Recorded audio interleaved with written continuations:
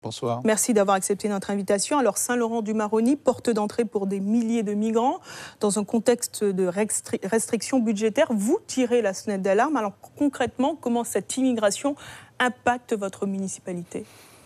Elle impacte à tous les niveaux. On vient d'évoquer la question notamment euh, des squats. Euh, Saint-Laurent aujourd'hui, c'est une espèce de maison avec les portes et des fenêtres grandes ouvertes. Et bien entendu, qu'il n'y a pas de contrôle du tout aux frontières. Euh, il y a des milliers de personnes qui s'installent. Ça impacte bien entendu euh, la question des écoles, la scolarité. Ça impacte aussi l'habitat, puisque de plus en plus, malgré les efforts que nous fournissons euh, à chaque fois, nous avons des squats qui euh, s'éparpillent, qui se densifient actuellement. Ça impacte la propreté de la ville, parce que qui dit squat dit aussi déchets nouveaux, avec des points nouveaux qu'il faut absolument traiter. Et puis, bien entendu, ça finit de toute façon par déboucher sur les questions qui sont liées à l'insécurité. Mais tout de même, euh, Léon Bertrand, est-ce qu'il n'est pas trop facile de mettre tous les mots euh, euh, structurels hein, et financiers de Saint-Laurent-du-Maroni sur cette seule et même immigration? Écoutez, il n'y a, pas d'autre source qui peut expliquer autre chose. Il n'y a qu'à voir tout simplement. Je vois la rentrée scolaire qui s'est déroulée au mois de septembre.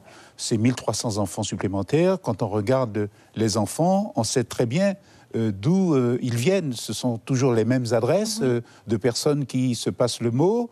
ce sont des enfants qui viennent, nous savons tous, soit du Suriname ou via le Suriname, d'autres pays d'à côté, notamment la communauté haïtienne depuis quelque temps. Donc, la gestion municipale est exclue finalement de toute critique la gestion municipale. Écoutez, je crois qu'elle est exclue de toute critique puisque nous avons eu, rappelez-vous, en 2009, nous avons forcément et exprès voté un budget en déséquilibre pour attirer l'attention du gouvernement. Aujourd'hui, il est en équilibre ce budget? Il est en équilibre depuis quelques années, mais c'est un, équilibre qui est très précaire.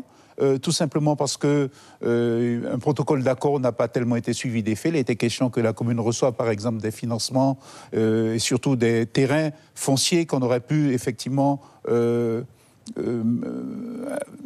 dont on aurait pu mettre en place des réseaux. Ça n'a pas été suivi des faits. Donc, euh, bien entendu, ça se traduit par des, par des recettes euh, en moins.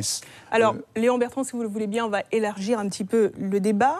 Euh, vous avez appelé avec une certaine poigne la tenue du Congrès des élus qui, à long terme, devra se pencher sur l'état statutaire de la Guyane. Vous, Léon Bertrand, homme de droite affirmé pendant plusieurs années, ancien ministre de, de la République, on a ce sentiment que vous êtes en train de muer, muer en autonomiste, indépendantiste, on ne sait plus trop. Donnez-nous un petit peu votre position là à l'heure actuelle. Je reste un républicain convaincu. Hmm. Mais simplement, la République doit euh, tenir ses engagements. Euh, quand je dis tenir ses engagements, c'est-à-dire que nous devons vivre normalement comme tout Français de l'Hexagone, bien entendu en tenant compte des réalités euh, de notre terrain.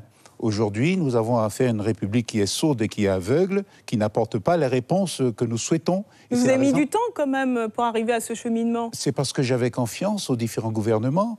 Comme je le dis, euh, il n'y a que les imbéciles qui ne changent pas d'avis. J'ai été, c'est vrai, pendant des années parlementaire, j'ai été aussi ministre et j'ai toujours cru qu'il y aurait eu effectivement des réponses. Simplement, les réponses, peut-être à l'époque, qui étaient faibles, euh, ne, se présentaient pas en direction de populations comme nous l'avons aujourd'hui. Aujourd'hui, les choses se sont beaucoup aggravées et surtout, nous avons euh, une France hexagonale qui n'a plus les moyens d'avant ce que nous ne pouvons plus obtenir en termes de financement, il nous faut nous débrouiller pour les obtenir maintenant en, capacité de faire. Alors ça ne veut pas dire que je suis indépendantiste ni autonomiste, simplement je dis qu'il faut changer de paradigme pour mieux se faire entendre. Alors très rapidement, ma dernière question, hein, vous avez réclamé une consultation populaire hein, au sujet euh, du projet de la montagne d'or située sur votre commune, qui obtient euh, vos, faveurs, c'est bien ça? On est d'accord? Absolument. Je suis très fier de ce côté. Euh, hier, le député Gabriel Serville est monté au créneau à l'Assemblée nationale suite au vote sur la fin euh, de la production d'hydrocarbures d'ici 2040. Là encore, est-ce que vous avez le sentiment que la Guyane passe à travers un axe de développement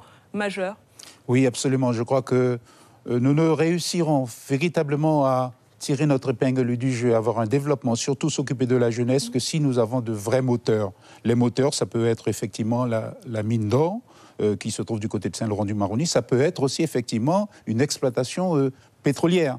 Simplement, on s'aperçoit que dès qu'on part euh, de ressources minières, on a toujours des obstacles qui euh, viennent euh, en face de nous, et c'est là peut-être la difficulté, et c'est pour ça que je souhaite bien entendu qu'il y ait ce projet Guyane qui va montrer que nous avons une direction, un axe majeur à faire entendre, et j'espère qu'à partir de là, eh bien, le gouvernement, quel qu'il soit d'ailleurs, pourra apporter les réponses que nous souhaitons. Merci Léon Bertrand d'avoir répondu à toutes nos questions. Merci encore.